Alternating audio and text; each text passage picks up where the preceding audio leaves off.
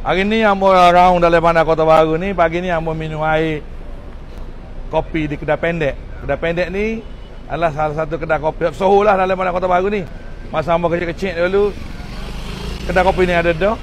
Hari ni pada lagi masih jadi tempat tu pun. Bila amo turun kedai kopi tadi, amo tengok stesen bah ni. Amo teringat zaman amo kecil-kecil dulu tempat ni lah orang beripu untuk balik ke rumah masing-masing bila mari bandar.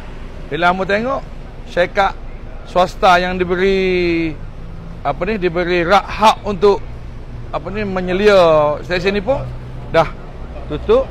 Tapi bila kamu tengok ada bah-bah baru ni kamu mari dekat kamu pun tengok apa ada kementerian pengangkutan? Bila kamu cek dengan sains sahabat ni dia kata bah ni adalah servis yang diberikan subsidi oleh kerajaan persekutuan. Jadi Alhamdulillah hiduplah balik kawasan ni. Sebelum bah ni menjalankan operasi sini mati. Eh, macam bandar cowboy dah. Tapi agak-agak dengan adanya servis ni dan sambutan daripada rakyat di saudara akan hidup di kawasan ni. Dan insya-Allah kawasan ini dan kawasan-kawasan lain Seri Kota Baru akan kita cuba bangunkan jika kita mendapat mandat daripada kerajaan.